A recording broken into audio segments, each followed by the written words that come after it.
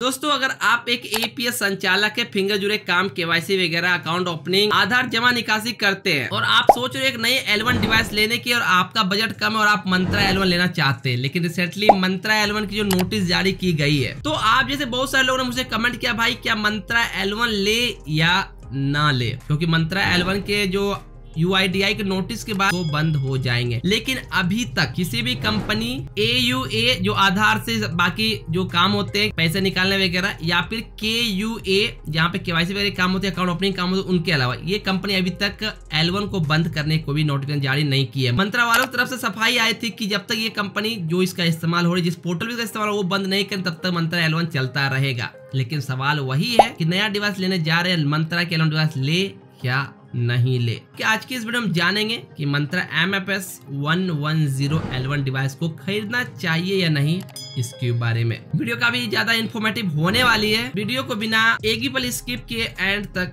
बने रहिएगा। सबसे पहली बात कि आपको रिक्वायर है डिवाइस की, या नहीं, इस पर डिपेंड करता आपको लेना है या नहीं लेना है। जैसा कि आपको मालूम चल ही गया होगा कि मंत्रा के पुराने वाले M F S one double zero device ये इस साल तक चलेंगे, यानी कि दिसंबर तक चलेगा ये। तो मेरा ये डिवाइस काम कर रहा है और मैं अपना सर्विस जो देता हूँ मैं आराम से दे रहा हूँ कोई बिना किसी दिक्कत के। अगर आपके पास मंत्रा पुराने डिवाइस है, हालाँकि इसकी आर डी एक्सपायर हो गई रिचार्ज करना होगा, जिसके ऊपर मैंने ऑलरेडी वीडियो दे चुका हूँ। ऊपर आई इन्फो रिचार्ज कैसे होती देख सकते हैं। या फिर मैं वीडियो को लास्ट में दे दूँगा। तो अगर आपके पास पुराने डिवाइस है वर्किंग में है तो फ़िलहाल मैं कहूँगा अभी नए डिवाइस लेने से अवॉइड कर सकते यानी रुक सकते हैं। ऐसी बात नहीं की मंत्रा डिवाइस आप काम ही नहीं करेगा, आपने जो परचेस कर लिया, वो ऐसा कुछ नहीं है। डिवाइस में कुछ सीक्रेट सिक्योरिटी रीजन है जिसे मंत्रा वाले ज़रूर एक नई अपडेट फिक्स कर लेंगे या हो सके तो वो कुछ ना कुछ आगे जो भी होगा मैं आपके लिए वीडियो लेकर फ़िलहाल, अभी आपका अगर एल वन है परचेज कर चुके हो तो वो काम कर रही बखूबी इस्तेमाल कर सकते हैं। लेकिन आप नए ले या ना ले इस कंफ्यूजन में हो तो अगर आपका एग्जिस्टिंग डिवाइस है और वो वर्क में है